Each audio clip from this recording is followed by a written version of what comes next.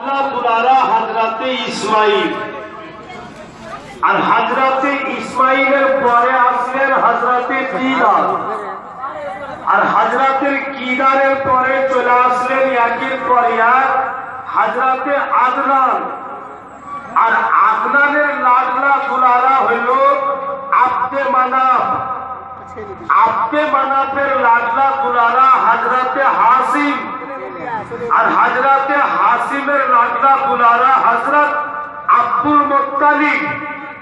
আব্দুল মোত্তালিবের লাডলা হজরতে আব্দুল্লাহ।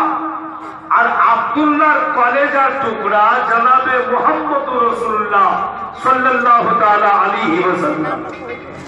এক কথায় হজরতে ইব্রাহিম থেকে ওনার পিঢ়িটা চলে আসছে বন্ধু বলিরা আমার। তাই আল্লাহ তাবারক ওয়া তাআলার পবিত্র কুরআন পাক থেকে আমি আয়াত শরীফ তিলাওয়াত করেছি, আল্লাহ পাক বলেন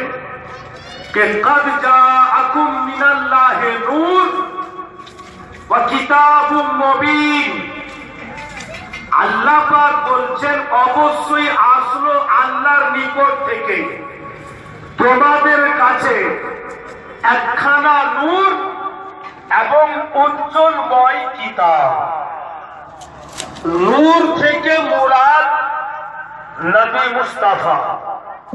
উজ্জ্বলময় কিতাব থেকে মুরাদ আমাদের পবিত্র কোরআন। তো বেরাদার পবিত্র কোরআনে আল্লাহ স্বয়ং বলছেন যে আমার নবী নূর। আল্লাহর বান্দাগণকে এক পাইকি মেনে নিতে হবে। যে বাস্তব নবী মুস্তাফা নূর। আল্লাহর নূরে রসুল্লাহ তৈরি। আর নবী পাকের নূরে সব কিছু তৈরি যদি প্রশ্ন হবে নবীর নূরে সব তৈরি তো নবী? নবীর নূরে। আসমান নবীর নূরে, জান্নাত, নবীর নূরে, জগতে যাহা কিছু দেখছি, সব কিছু নবী পাকের নূরে তৈরি। আর আল্লাহ নূরে স্বয়ং রসুল্লাহ। সব কিছু নবীর নূরে তৈরি হয়েছে। তো বেরাদার, যারা বাহাবি নসবি ওদের কিতাবে লিখেছে যে জমি তৈরি নবীর নূরে আকাশ তৈরি, নবীর নূরে পাহাড় পর্বত তৈরি, নবীর নূরে আর্শ কুরসি তৈরি, নবীর নূরে জান্নাত তৈরি, নবীর নূরে ফারিস্তা তৈরি, নবীর নূরে। নবীর নূর কি খোঁজা গেল না? ওদের বইয়ে লিখছে, ওদের কিতাবে লিখছে, আমাদের কিতাবে। যে নবীর নূর কি ঘটে গেল না, কমে গেল না? এত কিছু তৈরি হইল তো? তো বেরাদার আজকে সামান্য সাপোজ দু মিনিটে ঝাড়খণ্ড থেকে আপনার দারিয়াপুর ম্যাক্সিমাম ষাট কিলোমিটার আমার বাড়ি থেকে, কাছেই আছে। তো ষাট কিলোমিটার সফর করে আস্তে আস্তে দেখলাম যে বিজলি চলে গেল। লাইন নাই চাঁদনিও নাই দারিয়াপুর যাবো কি করে রাস্তাও খুঁজে পাচ্ছি না একটি दुकानदार বললাম কে ভাই आप कुछ चीज बेचते हैं जिससे रास्ता नजर आ जाए बोला हाँ मैं लालटून बेचता हूँ लालटून समझते आप लोग लालटन कभी देखे हैं তো লালটন বিক্রি করছে লালটনটা নিলাম ধরিয়া নিলাম আর চলে আসছি দারিয়াপুর জীবনী বলতে যাব কিছু দূর এসছি একটা চায়ের দোকানদার বলছে, ও, তাই মুরের বেটা, শুন বেটা, শুন। আমি বললাম, কি বলছেন বলেন? বলে, আমার চায়ের দোকানে একটাও আলো নাই বাবু তোমার লালটনটা দাও তো, আমার চারাটা জ্বালিয়ে নি। আমি বললাম, জ্বালিয়ে নেন চায়ের দোকানদার আমার লালটনের আলো থেকে আর দোকানের চারা জ্বালাইলে। দিল থেকে বলবেন, ঝুট বলবেন না, আমার লালটনের রসনি ঘটে গেল না যেমন কার তেমন থাকবে। ওইভাবে চলছে। তো কালিয়াচক থেকে নিয়ে দারিয়াপুর পর্যন্ত প্রত্যেক বাড়ির চারা আমার লালটন থেকে জ্বালাইলাম। প্রত্যেক বাড়ির দিয়া আমার লালটন থেকে জ্বালাইলাম। একটুকু রশ্মি ঘটল না, একটুকু রশ্মি করল না। যা মতলব লালটন তো নাই বানায়া হোক। लालटन तो आप बनाए हैं पूरी दुनिया के घर वाले अगर मेरे लालटन से अपने घर को जला दे रोशन कर दे तो रोशनी नहीं घटेगी जिस नूर को खुदा ने अपने नूर से खुद बनाया है किसी की हिम्मत कि नूरे मोहम्मदी को कम कर সেই নূরকে তো আল্লাহ নিজেই তৈরি করে দেন নিজের নূরে তৈরি করেছেন কার মাজাল যে সেই নূরকে কমিয়ে দেয় ওই নূরে তো সারা জগৎ আলোকিত বন্ধু বলে আমার তাই ওনার জীবনবাণী মোহাম্মতের সহি শুনবেন। তো আশা করি ইমান তাজা হবে। আর বেশিরভাগ চেষ্টা করবেন উনার সিরাতকে শোনার। বেশিরভাগ আমাকে মজবুর করিয়েন না, রং দেওয়ার। আপনারা মজবুর করবেন তো আপনাদেরই ক্ষতি হবে। কারণ যে দারিয়াপুর এমন একটা এলাকা এখানকার ছেলেরা এমন এমন গজল বলতে ভুলবে মানকাবাদ বলতে ভুলবে যে জীবনীটাই শেষ করে দেবে। ওই রকম করিয়েন না যে কাজে ডেকেছেন সেটা শুনুন। তো আপনি লাভবান হবেন। যাই হোক বেড়াবেড়ান ইসলাম আজ চলে আসুন কিতাব লিখক লিখছেন খুব ধীর স্থির ভাবে শুনুন। ভাইয়েরা বাপেরা আমার এ দুনিয়ার লোকেরা হাজরাতে আবদুল্লাহর সঙ্গে হাজরাতে মামেনার বিয়ে হয়েছিল। আব্দুল মোত্তালিবের বেটা হাজরত আবদুল্লাহ আর ওয়াহিদ বিন জাহেরির বেটি হলেন হজরত মা ওয়াহিদ বিন জাহেরির বাড়ি হচ্ছে মাদিনার বর্ডার আর যদি এই তাফসিলিটা লম্বা করে বলতে যাই, তো অনেকটা টাইমের প্রয়োজন। তাই এদিকটা অহরহ সকলের মনে আছে। চলুন দয়ার নবী মুস্তাফার কাছে কেউ কোনো অবজেকশন করবেন না, কোনো চায়ের দোকানে কথা বলবেন না যে এদিককার গুলোকে বলল না। জেনে শুনে আলোচনা করে রাখা হলো। যেন আমি বেশ কিছুটা আগে আপনাদেরকে শুনাইতে পারি। বুঝতে পারলেন কথা। আর কোনো অবজেকশন হবে আপনাদের? যাই হোক, বেরাদার। কিতাব লিখক লিখছেন কি আব্দুল মোত্তালিব। ভাইয়েরা, বাপেরা আমার, বন্ধু, বোনেরা, বাড়িতে আছেন তখন হাজরত আবদুল্লাহ ইন্তিকাল হয়েছিলেন বিজনেস করতে গিয়ে ফিরার পথে। এটা একটা লম্বা ঘটনা আছে। ইন্তিকাল হওয়ার পরে আব্দুল মোত্তালি বলছেন হাজরত মা মেনাকে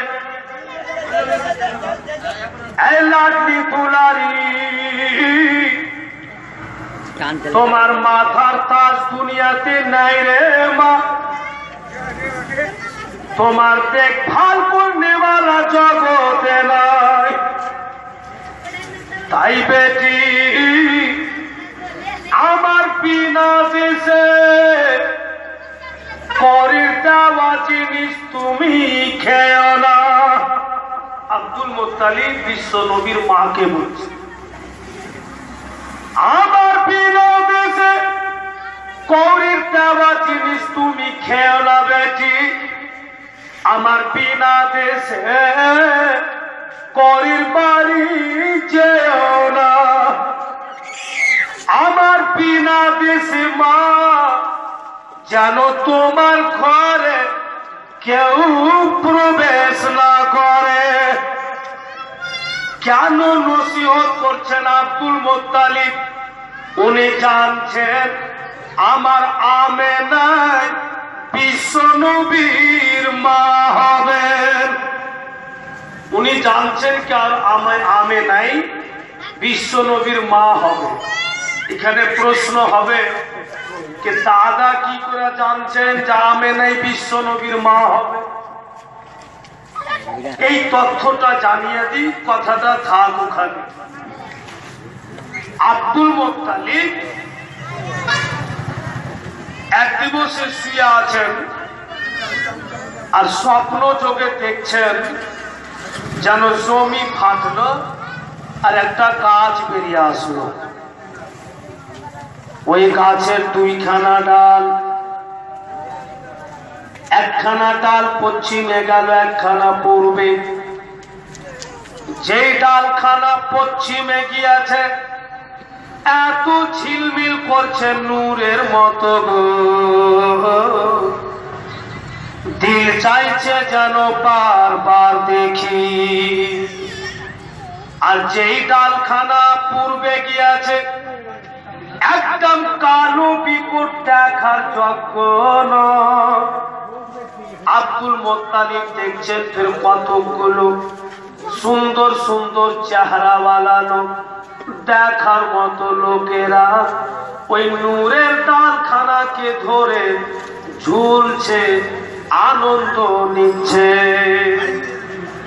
আর ওই কালো ডালের তরফ থেকে কতগুলো পিকর চেহারাওয়ালা লোক, কালো কালো চেহারাওয়ালা লোক হাতে তালোয়ার নিয়ে আসলো। আর নূরের ডালখানাকে বন্ধু কাটতে লাগল। হঠাৎ উনি দেখছেন যেন আকাশ থেকে কতগুলো লোকেরা নেমে আসলো। আর ওই কালো বিকুট চেহারাওয়ালা লোক কোনেরাকে যারা তালোয়ার নিয়ে এসে নূরের ডাল কাটছিল তারাকে মেরে পিঠে ভাগালো। নূরের ডাল বেঁচে গেল নুরানি চেহারাওয়ালা লোকেরাও রক্ষা পেল। সকালবেলা আব্দুল মোত্তালিব ওই জামানাতে, যারা তৌরাত জাবুরের আলিম ছিলেন, ওদের কাছে গেলেন। সম্পূর্ণ স্বপ্ন উনি খুইলে শুনালেন। ওই আকাশি কিতাবের আলিম বোন বলছে ও আব্দুল মোত্তালিব, একটু বসো তুমি মার্তাবাওয়ালা স্বপ্ন দেখেছ। আমরা একটু কিতাবগুলো খুলে খুলে দেখে দেখানি তারপরে তোমাকে স্বপ্নের তাবির বলব, আকাশি কিতাবের আলিমগুলো কৌরা তুষাপুরের বন্ধুগুল মোতালা করে। এবার আব্দুল মোত্তালিবকে বলছেন, ও আব্দুল মোত্তালিব, তুমি ভাগ্যবান। কি করে? বলে যে নূরের ডালখানা, পশ্চিম দিকে তুমি দেখাচ্ছিলে দুনিয়াবি কোন নূর ছিল না। সেই নূরখানা আখেরি নবী, বিশ্ব নবী ছিল। আব্দুল মুত্তালিব যারা নুরানি চেহারাওয়ালা লোক নূরের ডালকে ধইরা ঝলছিল আনন্দ নিচ্ছিল। তারা হবে সাহাবিয়ার রাসূল। আর যারা কালো ডালের তরফ থেকে হাতে তালোয়ার নিয়ে এসেছিল বিকট চেহারাওয়ালা লোক, তারা হবে দুশ্মনের রাসূল। আব্দুল মোত্তালিব বলেন, স্বপ্নটা আমি কেন দেখলাম? আরও তো মাক্কা নগরে অনেক লোক ছিল। আল্লাহ ওরাকে কেন দেখাল না? তারা বলছে, ওরে আব্দুল মোত্তালিব, এই জন্য আল্লাহ তালা তোমাকে বিশ্ব নবীর নূর স্বপ্নের মাধ্যমে দেখিয়েছে। ও আব্দুল মোত্তালিব, তোমারই ঘরানা থেকে বিশ্ব নবী জগতে আসবে। আব্দুল আমি দশ বেটার বাপ, আমি কি করে বুঝব? আমার কোন বেটা বিশ্ব নবীর বাবা হবে? উনারা বললেন কে বাড়ি চলে যান প্রত্যেক ছেলের জামা নিজের নাকে লাগিয়ে সুইঘা দেখবেন। যার জামা থেকে মুসকে আম্বারের খুশবু ছুটবে। উনি হবেন বিশ্ব নবীর বাবা এবং সারা এলাকা প্যারা হবে। আব্দুল মুত্তালিব, দশ বেটার জামা নাকে লাগিয়ে শুয়ে দিকেছেন মুস্কাম্বারে খুশবু পেয়েছেন তো হাজরাতে আব্দুল্লাহ। আর সমস্ত ছেলে থেকে প্যারা হাজরাতে আব্দুল্লাহ। আর আব্দুল্লাহরই স্ত্রী হচ্ছেন হাজরাত মা আমেনা। তাই আব্দুল মোত্তালিব জানছেন যে আমেনাই বিশ্ব নবীর মা হবে। বুঝা কথা? বুঝতে পারছেন? আমি কিন্তু কিচ্ছু বুঝতে পারি না, গাড়ির ঘো আর ঘা। আমি কি বলছি না বলছি আমার কিচ্ছু মনে হয় না। আপনারা বুঝতে পারছেন তো? উল্টা পুল্টা বুঝালেন তো ঝামেলা হবে। বেরাদান ইসলাম কালকে এমন জায়গাতে জীবনী শেষ হয়েছে ধৈকে গেছি ভাই, খালি মমিন কইতে কইতে। লম্বা লম্বা লিস্ট কেটা গরু দিয়েছে, কেটা খাসি দিয়েছে তো নামগুলো তো লিখে লিখে দিয়েছে। তো লাগার খালি মমিন খালি মমিন। আর যদি বলতে বলতে এক একটা নাম মমিন বলতে হয়তো ছুটে গেছে। তবে ইসলাম থেকে বলছে, আহ, মমিনটা কহেন মমিনটা কহেন, সব খালি মমিন। মমিনের হাতে ভাই গোটা রাইতে মমিন বলতে বলে বলছে, হ্যাঁ, সব মমিন কি বুঝলে? তোমরা একটি চলে আর কোনো লোক নেই? বেরাদার আমাদের ওদিকে তো মমিন বললা জোল হা বল। তোলা বুঝেন? হ্যাঁ? কাপড়া বুনাই। তো বেরাদার ভাইরা বাপেরা আমার তাই হয়তো আজকে একটু অসুবিধা হবে আপনি আমার সাথ দেন মোহাম্মতে শুনবেন তো ঠিক থাকবেন তো আব্দুল মোত্তালিব জানছিলেন যে আমার আমেনাই বিশ্ব নবীর মা হবে তাই উনি নসিহত আমার বিনা আদেশে করে দেওয়া জিনিস খেয়েও না। আমার বিনা আদেশে কোথাও তুমি যেও না। আমার বিনা আদেশে তোমার ঘরে যেন কেউ প্রবেশ না করে। বেশ কিছুদিন কেটে যাওয়ার পর হাজরত মামেনা আব্দুল মুত্তালিবকে জয়ের আটা রুটি বানিয়ে দিয়েছেন। আব্দুল মুত্তালিবকে শ্বশুর বাবাকে বৌমা রুটি খাওয়াইছেন। আব্দুল মুত্তালিব বসে বসে খাচ্ছেন আর হাজরত মামেনা নিজের হাতে নিজের শ্বশুর বাবাকে রুটিগুলো ভেঙে ভেঙে দেয়। এত সেবা করবেন হঠাৎ করে এক পড়োশির একটি মেয়ে এসে আব্দুল মোত্তালিবকে বলছেন, বাবুজি, আপনার কাছে আসলাম তো কেন রে মা? বলে, আপনার আমেনাকে যদি কিছুক্ষণের জন্য ছুটি দিতেন, আমি নিজের বাড়ি নিয়ে যেতাম। কেন রে মা? বলে, কতগুলো জিনিস আপনার আমেনা জানছে না, আমি জানি না। তাই ভাবছিলাম, উনি যদি আমার বাড়ি কিছুক্ষণের জন্য যেতে আমি কিছু ওনার কাছে জানতাম, শিখতাম। আব্দুল মোত্তালি বলছে, মা, তুমি এখন বাড়ি যাও। এখন তো আমে না আমাকে রুটি খাওয়াচ্ছে রে মা। যখন আমার খাওয়া হয়ে যাবে, আমার আমে নাকে আমি ঠিক তোমার বাড়ি পাঠিয়ে দিব, তুমি এখন যাও। মেয়েটা কিন্তু ফিরে চলে গেল। হাজরত মামেনা আব্দুল মোত্তালিবকে রুটি খাওয়ালেন। এবার আব্দুল মোত্তালিব বলছেন, আমেনা, পড়োশির প্রতি পড়োশির অধিকার থাকে রে মা যখন তোমাকে ডেকে গেল যাও তুমি একটু শুনে এসো কি বলছে তুমি শুনে এসো আব্দুল মোত্তালিব কুর্সি খানাকে বের করলেন বাড়ির বারান্দাতে বসিয়ে দিলেন। ঠিক কুর্সির উপরে আব্দুল মোত্তালিব বিশ্ব নবীর দাদা বসলেন। আর বলছেন আমেনা এবার তুমি যাও রে মা, তুমি যাবে আমি দেখতে পাবো। তুমি পড়োশির বাড়ি থেকে আসবে, তো আমি দেখতে পাবো। আব্দুল মোত্তালিব নিজের বৌমাকে নিজের চোখ থেকে আড়াল করতেন না। ঠিক হজরত বাড়ি থেকে বের হলেন পড়োশির বাড়ি যাবেন আব্দুল মোত্তালিব কিন্তু বৈশা বৈশা দেখছেন যে আমার আমেনা বৌমা চলে যায়। আপ যেন বাড়ির ভিতরে প্রবেশ করে যাবেন। অল্পটুকু দূরে আছেন। আব্দুল মোত্তালিব দেখছেন হাজরাত মা মেনাকে দাহিনা পাওখানা জমিনে বিছাইলেন। যেন ফের উঠিয়ে নিলেন, ফের জমিনে বিছালেন। দুই চারবার এই মতো করে হাজরাত পাবে না। আর পড়োশির বাড়ি প্রবেশ করলেন না। ওই জায়গা থেকে বন্ধু ঘুরে বাড়ি চলে আসলেন।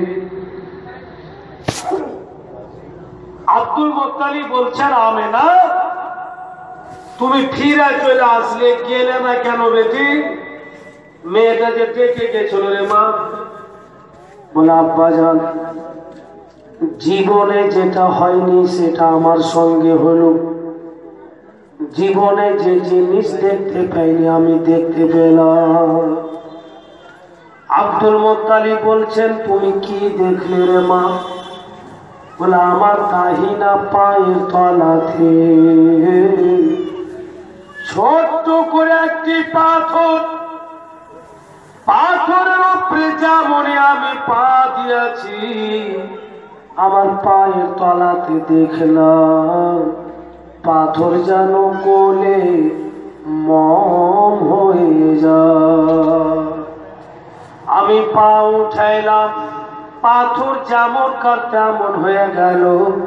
আবার আমি পাথরে পা দিলাম, পাথর যেন মমের মতো গলে যায়। ভয় আমি আগে যেতে পারলাম না। ফিরে চলে আসলাম। ই অদ্ভুত ঘটনা কেন আমার পায়ের তলাতে পাথর কেন গলে আব্দুল মোত্তালিব, নিজের হাত দুখানা আকাশের দিকে উঠিয়ে নিয়েছে আর বলছে, না মেনা একদম তুমি চিন্তা করো না বেটি তোমার কিচ্ছু ক্ষতি হবে না। কারণ আব্দুল মোত্তালিব এই জন্য বললে, তোমার কিচ্ছু ক্ষতি হবে না, উনি বুঝতে পারছেন যা আমার আমেনার গর্ভে বিশ্বনবী চলে এসে বলে, আজকে পাথরে পা দিচ্ছে, তো পাথর গলে যা যেন নবীর মাকে আঘাত পাথর পর্যন্ত পায়ের তলাতে বইলা যায়। ইনি তো নবীর মা। নবীর মায়ের যদি এই মার্তাবা থাকে, তো স্বয়ং নবী মুস্তাফার কি হতে পারে? এটা তো নবীর মা। ফিরে চলে আসলেন। কয়েকদিন পর হাজরত মা মেনা সকালবেলা ওই বাড়ি ঘরের থালি বাসন গুলোকে একটে জমা করেছে।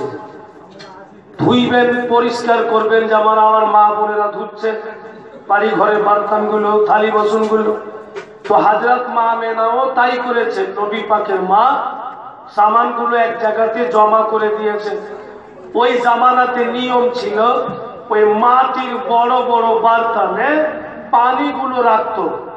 আর যখন প্রয়োজন হইত, তো পানিগুলো বের করে কাজ করত।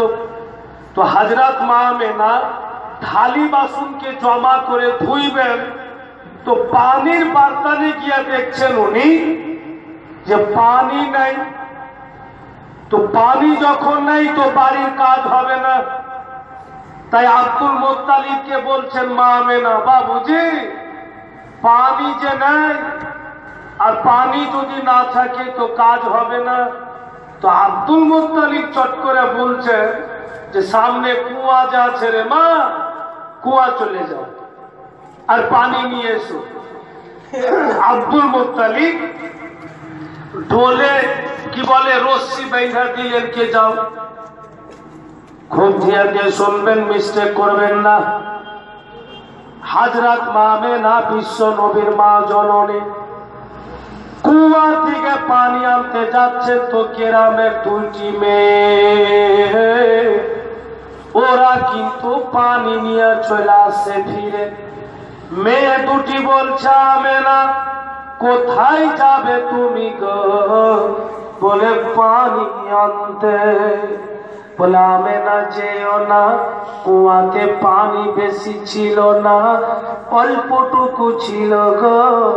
আমরা সামান্য টুকু করে পানি পেলাম, আর যেটুকু পানি কুয়াতে আছে আমি না ঘোলা হয়ে গিয়েছে, মাটির সঙ্গে মিশে গিয়েছে, ও পানিকে উঠানো যাবে না। আর যদি একাটুকু উঠিয়ে যাবে না, খাওয়া যাবে না। হজরত মামেনা বলেন, আমি এখান থেকে ফিরে যাব না। যখন বাড়ি থেকে চলে এসে তো কুমা থেকে ফিরব। মেয়ে দুটি এক অপরকে বলছে আমি না তো বিশ্বাস করলে না, আমাদের কথার প্রতি ভরসা করলে না। চলো আমরা দেখিয়ে দিই আমি না কে যে কুয়াতে পানি নাই হাজরাত মামেনা আগে আগে যাচ্ছে মেয়ে দুটি পিছন পিছন আসে। যখন কুয়ার নিকট হাজরাত মামেনা গেলেন ওনার দিল বলছে, একবার ভিতরে নজরটা করে দেখি যে পানি কত দূরে আছে। আমার রশ্মিটা পানি পর্যন্ত পৌঁছিবে কিনা? হাজরাত মামেনা কুয়ার ভিতরে ঝেঁকে দেখলেন দেখা মন্ত্রী যেন খালি টোলকে নিয়ে বাড়ি ফিরা যান ওই মেয়ে দুটিও দেখে যেন ফিরা যায় জামে না কি এমন জিনিস দেখলে যে ফিরে চলে গেল, এরা যখন দেখলে এরাও ফিরে চলে গেল। আব্দুল মোত্তালি বলেন আমে না তোমার টোলে পানি কোথায় রে মা? তুমি বিনা পানিতে কেন চলে আসলে? হজরত মা মেনা না পাগো আমি ভয়ে পানি নিতে পারিনি। কিসের ভয় রে মা? মনে কুয়াতে পানি ছিল না। আমি যেমনই ভিতরে জায়গা দেখলাম, আমার দেখা মতই যেন কুয়ার পানি পরিপূর্ণ হয়ে উপরে উঠে চলে আসে। পানি ছিল না, আর হজরত মামেনা দেখা মত্রী পানি উপরে উঠে চলে আসছে এর মানে কি বুঝা গেল? যেন বিশ্ব নবীর মাকে ঝুঁকতে কষ্ট না আল্লাহ বলছে, পানি এটা আমার নবীর মা ঝুঁকতে যেন কষ্ট না হয়, উঠে যা। যেন একটুকু না ঝুঁকে। আল্লাহর আদেশ হইল, পানি উপরে উঠে চলে আসে। বেরাদান ইসলাম, আব্দুল মোত্তালিব কিন্তু খুব খুশি, খুব আনন্দ যে আমার আমেনাই বিশ্ব নবীর মা হবে। এতে আর কোন রকম সন্দেহ নাই। কিন্তু বেরাদা যে মায়ের গর্ভে সন্তান, উনি কিন্তু মোটেই জানতে পারছেন না যে আমার গর্ভে বিশ্ব নবী এসছে। আমি মা হতে চলেছি, উনি মোটেই জানতে পারছেন কেন জানতে পারে না? আমি আপনি মায়ের গর্ভে আসলাম। মায়েদের যা মাহিনা বন্ধ হয়। তো মা বুঝতে পারে আমি মা হতে চলেছি। আমার গর্ভে সন্তান চলে এসছে। দয়ার নবী মুস্তাফা মায়ের গর্ভে এসছে। তো হাজরাত মা মেনার মাহিনা বন্ধ হয়নি।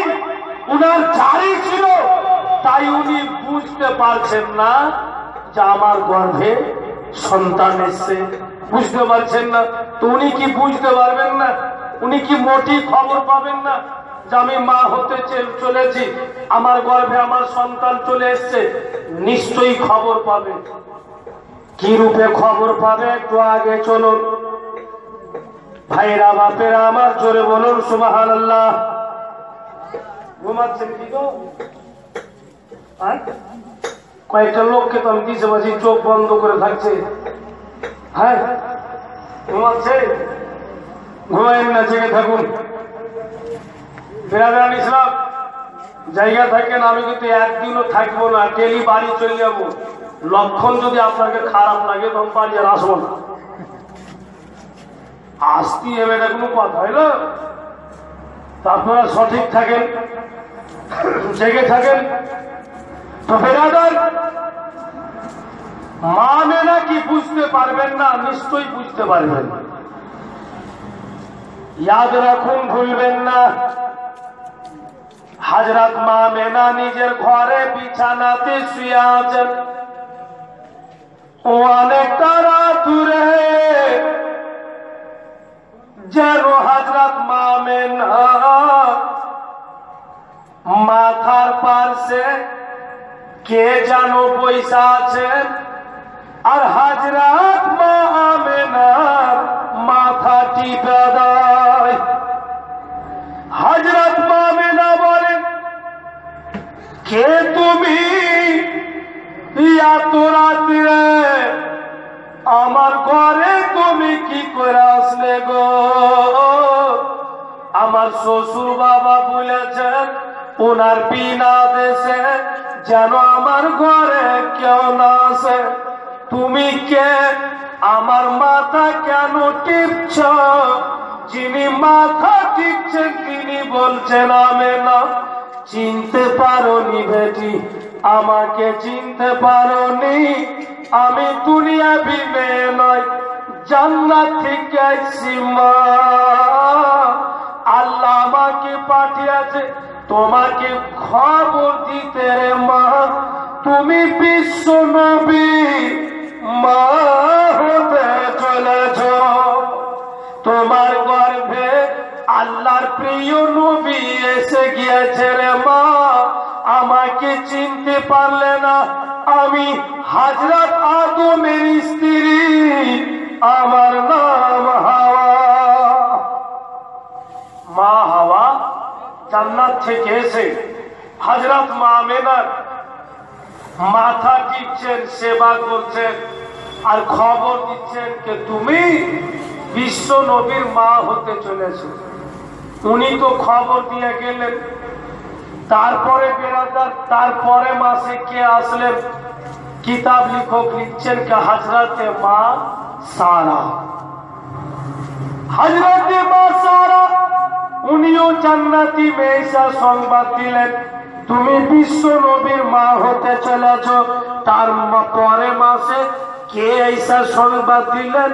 হাজরাতে মা আসিয়া তারপরে মাসে কে সংবাদ দিলেন? হাজরাতে হাজরা তারপরে মাসে কে সংবাদ দিলেন এসে হাজরাতে মারিয়া।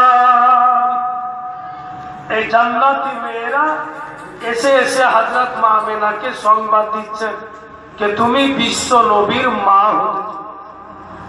বেরাজার ইসলাম তো সংবাদ তো পেয়ে গেলেন আমার লাডলা কুলার আমার গর্ভে চলে এসছে মা জানতে পেরে গেল আব বাবুজি দিন যেতে লাগল সময় কাটতে লাগল দয়ার নবী দুনিয়াতে আসবেন যখন টাইমটা পুরা আসলো পূর্ণ হয়ে আসলো তো জান্নাতের মধ্যে ফুলগুলো খুব হিলছে আর এক অপরের গায়ে লাগাচ্ছে।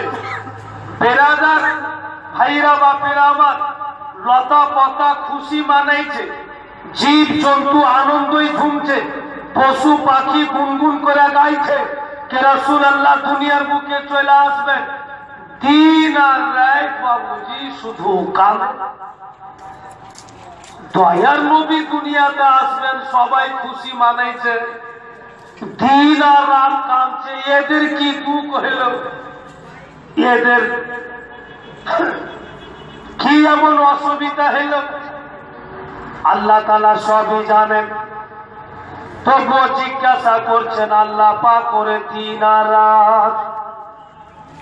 আমার নাবি দুনিয়াতে আসবেন সারা জামানা খুশিতে ঝুমে, তোমরা দিন রাত কেন কাঁদো? তোমাদের অসুবিধা কি? রাত বলছে আল্লাহ, তোমার নবীকে তুমি রাত্রে দুনিয়াতে পাঠাও, যেন আমার মার্তাবা বেড়ে যায়। দিন বলে আল্লাহ, তোমার নবীকে তুমি দিনে দুনিয়াতে পাঠান যেন আমার মার্তা বেড়ে যায়।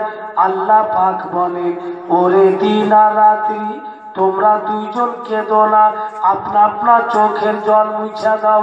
এমন টাইমে আমার মেহবুবকে আমি পৃথিবীর বুকে পাঠাবো। ওরে দিন আর রাত, তোমরা দুইজনই সমান সমান অংশী পাবে। এ দিন আর রাত, তোমরা দুজনই সমান সমান অংশী পাবে। তাই রসুল আজম রবিউল আউ্বাল মাসে বারো তারিখে, সোমবারের শুভে সাদিকে সময় কিছুটা রাত্রেরও অংশ, কিছুটা দিনেরও অংশ। ওই টাইমে দয়ার নবী দুনিয়াতে এসেছিলেন। আর কথাটা ওখানে থাক, দয়ার নবী জগতে আসবেন, ওখানে চলুন। হাজরাত মা মেনা বলছেন, ওই পাঁচ জাতের কসম যার কবজাতে আমার জান, যে রাত্রের ভোরবেলা আমার লাডলা দুনিয়াতে আসবেন, সে রাত্রে আমি ভিতর থেকে দরওয়াজা লক করে শুয়াছি আর অনেকটা রাতুরে যেন আমার কানে আওয়াজ আসছে। যেন আমার দরওয়াজা খুইলা যায়। আমি চিন্তা করি, আল্লাহ, আমি ভিতর থেকে লক করে রেখেছি। আমি আগে ভিতরে আছি, বাহির থেকে দরওয়াজা খোলা যাবে না। এত রাতুরে আমার দরওয়াজা কে খুললো? নজর করে দেখছি আমি হাই এমন সুন্দরী। একদম দেখার মতো। আমার দরওয়াজাতে দাহিনাতে যেন একটি গিলাস নিয়ে দাঁড়িয়ে আছে। আমি জিজ্ঞাসা করলাম, কে তুমি? এত রাত্রে আমার দরওয়াজায় কি করছ তুমি? আর তুমি আসলে কি করে? আমার দরওয়াজা তো বন্ধ ছিল। তুমি ভিতরে কি করে আসলে? দরওয়াজা তো বন্ধ ছিল। তো যিনি দাঁড়িয়ে আছেন দরওয়াজায়, উনি বলছেন আমে না আমাকে দরওয়াজা খুলতে হয় না। আমার জন্য আল্লাহ দরওয়াজা খুলে দেয়। জোরে বলুন সুবাহান বলে, তোমার জন্য আল্লাহ দরওয়াজা খুলে বলে হ্যাঁ? কে তুমি গো? যিনি দরওয়াজায় গিলাস নিয়ে দাঁড়িয়ে আছেন, উনি বলেন, আমি দুনিয়াবি কোন সুন্দরী নয়, আমি জান্নাতি পরি। আল্লাহ তাবারেক ওয়া তাআলা আমাকে জান্নাত থেকে পাঠিয়েছেন। এই যে দেখছ আমের না, আমার হাতে একটি গিলাস, এটি জান্নাতি আমে না। আল্লাহ তোমার জন্য দিয়া পাঠিয়েছে, তুমি শরবতটাকে পান করে নাও। বাচ্চা প্রসাবের যা আঘাত রে মা একটুকু থাকবে না। জান্নাতি পরে জান্নাতি শরবত হযরত মা মেনাকে পান করালে ইমান থেকে বলুন তো, কি করে ওয়াহাবির কথা মানবো? কি করে লামাজহাবির কথা মানবো? কি করে দেওবন্দির কথা মানবো? ওরা যে নিজকে বলে, আমরা নবীর মতো, নবী পাক আমাদের মতো মানুষ। বন্ধুগুলো আমার ওরা কি বলা যখন তোর মায়ের কাছে ছিলি, বল, কোন জান্নাতি পরি শরবত দিয়েছে কিনা? কেউ প্রমাণ করতে পারবে? যে দেওবন্দি লামা জাহাবির মায়েরাকে জান্নাতি শরবত দিয়েছে। দেয়নি! এই জন্য দেয়নি যে ওরা হচ্ছে ওদের মা, নবীর মা নয়। নবীর মায়ের মতো নয়। তো ওদের মা যদি নবীর মায়ের মতো না হয় কি করে রসুল্লাহর মতো একটা স্বাভাবিক ছোট মোটো যায় ভাইরা আমার হাজরত মামিনা ওই জান্নাতি শরবতকে পান করে নিলেন। বন্ধুগণেরা আমার, যেমনই জান্নাতি শরবত পান করলেন এবার জান্নাতি পরি আলুট হয়ে গেল। মামিনা বলছেন, ও দুনিয়া লোকেরা, হঠাৎ করে দেখলাম যেন আমার শরীর থেকে একখানা নূর বেরিয়ে আসলো। একখানা আলো বেরিয়ে আসলো। আমি চিন্তা করি আলো কি এমন জিনিস বের হলো? নজর করে দেখছি তো আমার গোটা ঘর আলোকিত। আবার দেখছি যেন আমার লাখ লাখ তুলারা পৃথিবীর বুকে জন্ম নিল। ভোর বেলা ভাইরা, এখানে একটি কথা আছে, রসুল্লাহ যেমনই দুনিয়াতে আসলেন, বলছি এখানে একটি ছন্দ আছে বলছে জমি আর আসমান দুজন কথা বলছে, আসমান বলছে, এই জমি, তোমার চাইতে আমি বড়। জমি বলছে, হতে পারে না। বলে, একদম তোমার চাইতে বড়। এই দুটো কথাবার্তা চলছে। জমিন আর আসমানে, তাই বলছে ছন্দের মাধ্যমে এখানে আরিশ ফারস কি থি গুপ্তগু मैं बड़ा हूँ या बड़ा है तू জমি আসমা দুজন কথা বলছে যে তুমি বড় না আমি বড়। আরে সে পাচ্ছে কি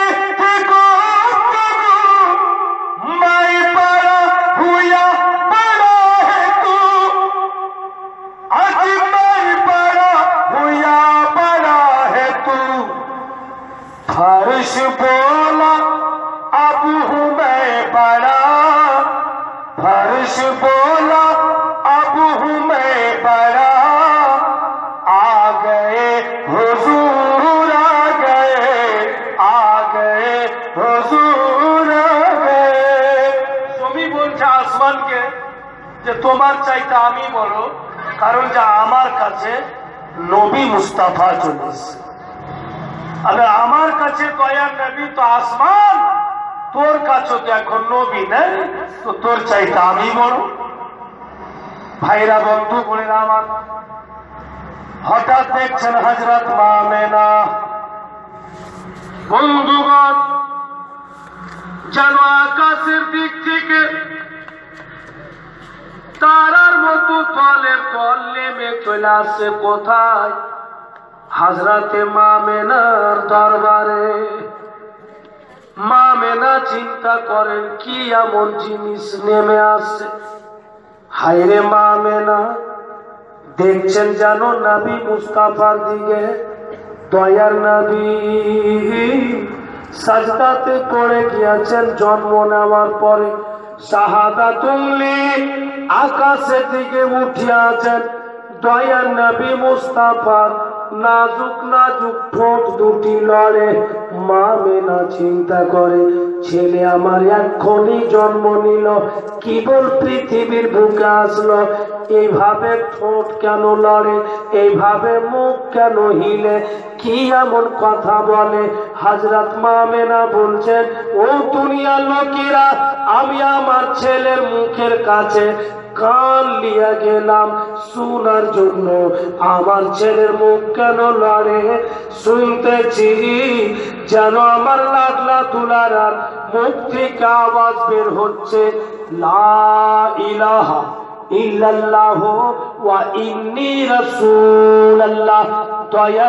বলছেন, আল্লাহ ব্যতিরিকে কেউ মাবুদ নেই। ওয়া ইন্নি রসুল আল্লাহ এবং নিশ্চয় আমি আল্লাহ রসুল। ফের হাজরত মামেনা কান দিয়া শুনছেন দয়ার নবী মুস্তাফা বলেন, ইয়া রাব্বে হাবলি উম্মতি, ইয়া রাব্বে হাবলি উম্মতি, এই পরওয়ারদিগার, আমার উম্মতকে তুমি আমার হেবা করে দাও, আমার হাতে তুলে দাও। হাই দয়ার নবী, নিজের উম্মতকে কোন জায়গাতে ভুলেন না। কেন নিজের হাতে চাইলেন? যেন আকামনা নিজের তামাম দিবানা দিবানি জীবনের গুনা খাতার মাঠ করে দেয়। হঠাৎ করে মা মেনা এবার যখন দেখছেন দয়ার নবী মায়ের নজর থেকে গাইব হয়ে গিয়েছে, নজরে আসছে না। যে কোনো মা থাকে, ছেলে জন্ম নেওয়ার পর মায়ের সামন থেকে যদি ছেলে গাইব হয়ে যায়, আচানক যদি দেখতে না পাওয়া যায় মা তো ভয় পেয়ে যাবে। ছেলে আমার ছিল এখনই গেল কোথায়? যখন মা মেনা গভীর চিন্তাতে পড়ে গেলেন একদম তুমি চিন্তা করো না, তোমার ছেলে মাঝে মাঝে গাইব হবে রে মা। ফের তোমার কাছে চলে আসবে। তুমি বুঝতে পারো নি আমি না তোমার লাডলা দুলারা যতক্ষণ পর্যন্ত সারা জগতের সফর না করেছে, তোমার ছেলের জিয়ারত আল্লাহর ফারিস্তা করবে, তোমার ছেলের জিয়ারত জান্নাতি হুর পরি করবে আমে না তারপরে তিন দিন পর দুনিয়া বিলোপ দেখতে পাবে।